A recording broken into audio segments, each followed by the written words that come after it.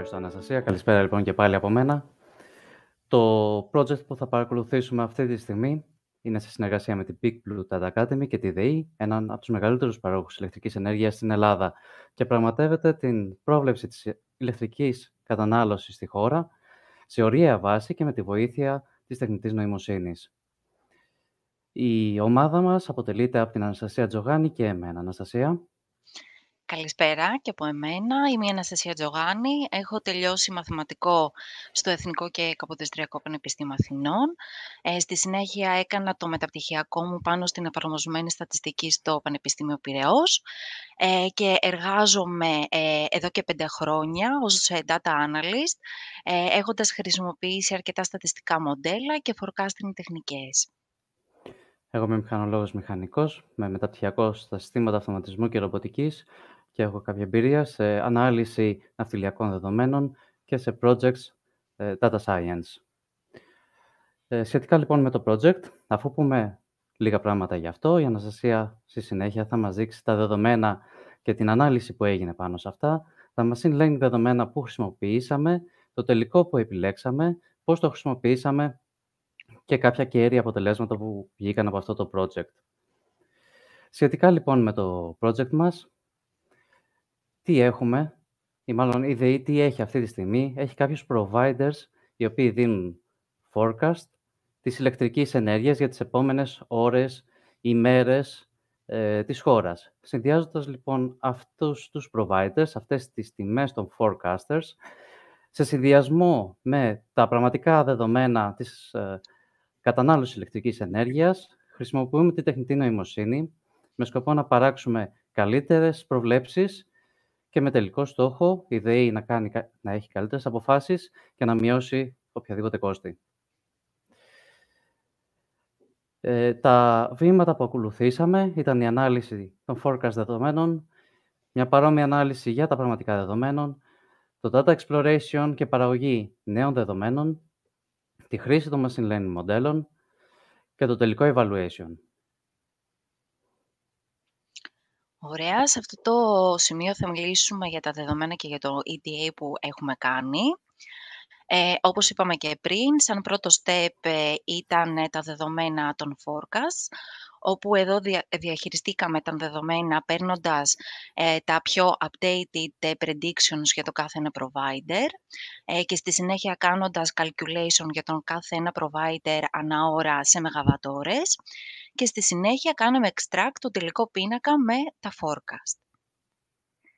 Ε, με την ίδια λογική ε, έχουμε κάνει ε, και για τα actual values, όπου έχουμε κρατήσει τα ε, πιο πρόσφατα actual values.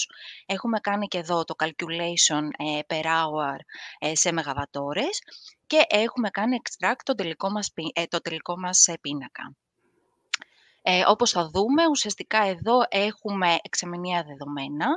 Ε, δεν έχουμε ε, δεδομένα ε, αναφορικά με τους καλοκαιρινούς μήνες και δεδομένα πάρα πολλά ε, για τους ε, χειμερινούς μήνες, όπως επίσης δεν έχουμε και δεδομένα από προηγούμενα χρόνια. Ε, αναφορικά τώρα με το ε, EDA που έχουμε κάνει, ε, ένα key finding ε, που παρατηρήσαμε είναι ότι δύο, στους πέντε, δύο από τους πέντε forecasters έχουν καλύτερα αποτελέσματα όσον αφορά το mean absolute percentage error, όπως θα δούμε και σε ένα από τα παραδείγματα που έχουμε επιλέξει να σας δείξουμε παρακάτω, όπου έχουμε υπολογίσει το mean absolute percentage error για το αν μια μέρα είναι γιορτινή ή όχι; Ε, ακολούθως, πέρα από, τους, πέρα από τα values των 5 forecasters που έχουμε στην διάθεσή μας, ε, σκεφτήκαμε ε, να κάνουμε ένα feature extraction ε, και να βάλουμε και άλλα features ε, στα μοντέλα μας.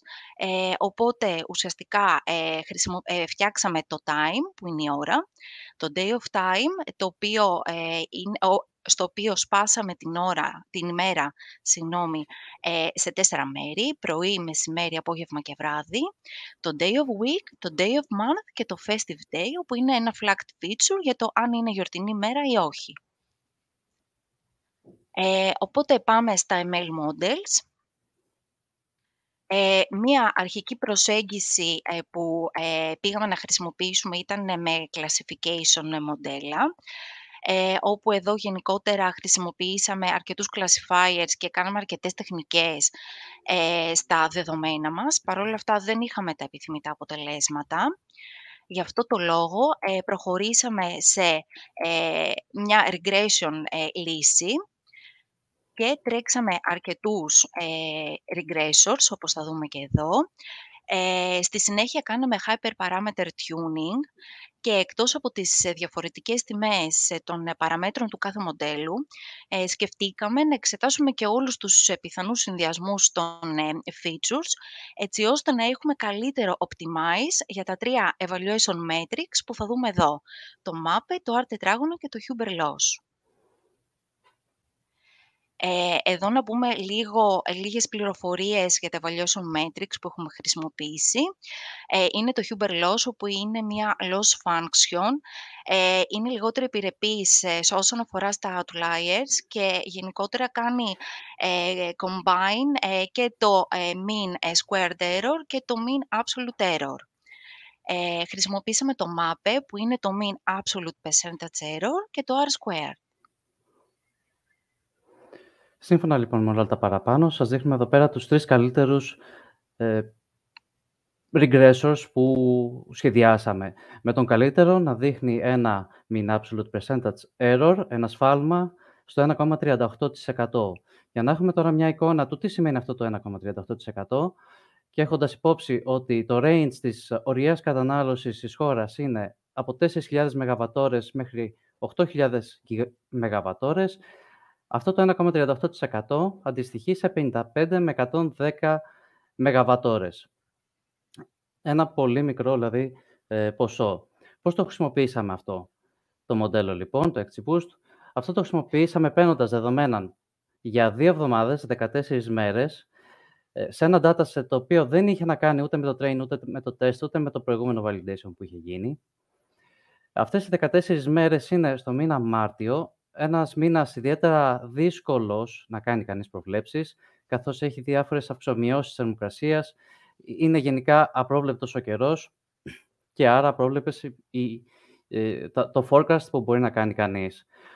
Σε αυτές λοιπόν τις 14 μέρες, ο καλύτερος provider που έχει αυτή τη στιγμή η ΔΕΗ, μας έβγαλε ένα mean absolute percentage error στα 3,45%.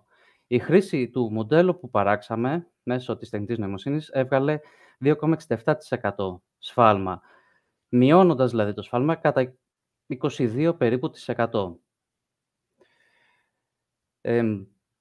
συμπερασματικά και κλείνοντας εδώ πέρα, θα πω ότι χρησιμοποίησαμε πάρα πολλά πράγματα, ε, δοκιμάσαμε πάρα πολλές τεχνικές, καταλήξαμε σε ένα regression μοντέλο που βγάζει κατά 22% καλύτερες προβλέψεις και ακόμα παραπάνω.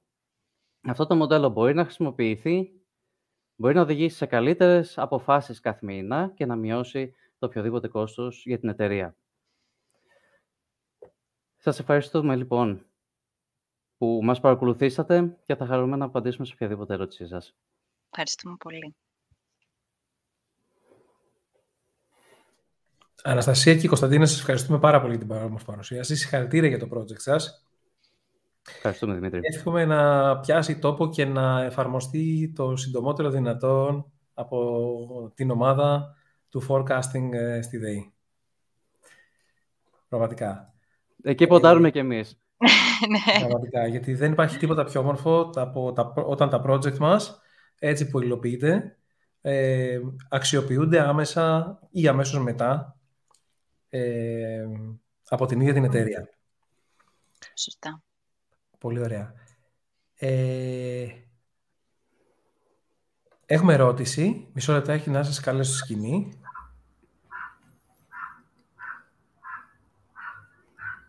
Καλησπέρα, ακούγομαι; Καλησπέρα σας. Αναστάσιος Κατσαούνης ονομάζομαι. Με, μου προέκυψε μια ερώτηση καταρχάς συγχαρητήρια για τη δουλειά σας. Είπατε σε κάποιο σημείο ότι στην αρχή δοκιμάσατε κάποιους classifiers. Αυτό έγινε με λογική της τάσης, δηλαδή αν είχαμε ανωδική ή καθοδική τάση στην, στην ζήτηση; Και αν ναι, τι όριο βάλατε σε αυτό για να το δοκιμάσετε; Ε, εμείς προσεγγίσαμε ε, με το classification, με την classification λύση, ε, ουσιαστικά ε, φτιάχνοντας κάποια labels με τους top providers ε, που υπήρχαν αναμέρα και ανά ώρα. Οπότε έτσι το προσεγγίσαμε το πρόβλημα. Ε, κατάλαβα. Επομένως, το target ήταν να δείτε ποιοι providers Σωστά, σωστά. Και, ναι, και κάθε μέρα και κάθε ώρα ουσιαστικά επιλέγει το, το provider. Οπότε έτσι ήταν μια, μια σκέψη που, που κάναμε. Ευχαριστώ πολύ. Ευχαριστούμε για την ερώτηση. Θέλω να ρωτήσω κάτι εγώ στο κομμάτι πάλι το, της, ε, της επεξεργασίας των δεδομένων. Ε, ποιο ήταν το ταξίδι, δηλαδή αναλυτικότερα, δηλαδή από πού ξεκινήσατε στο να πάρετε δεδομένα και πώς ουσιαστικά και τι ήταν αυτό το οποίο σας δυσκόλεψε γενικά στο transformation; Ε, το, πιο μεγάλο challenge είναι, ήταν γενικά να καταλάβουμε τα δεδομένα, τι ακριβώς έπρεπε ε, να, να πάρουμε, όλος ο υπολογισμός που έπρεπε να γίνει και για τον κάθε ένα provider. Ε, Κωνσταντίνε, δεν ξέρω αν θες να πεις και εσύ. Ε, δεν είμαι σίγουρος ότι κατάλαβα το transformation, Δημήτρη, στην ερώτησή σου. Ότι πήρατε κάποια δεδομένα από κάποια πηγή. Ποια πηγή ήταν αυτή; Όχι εννοώ ποιοι ήταν οι forecasters. Τα πήρατε δηλαδή από ένα CSV, τα τραβήξατε... Ήταν η βάση δεδομένων της ένα κομμάτι της, της βάσης δεδομένων που μας έδωσε πρόσβαση.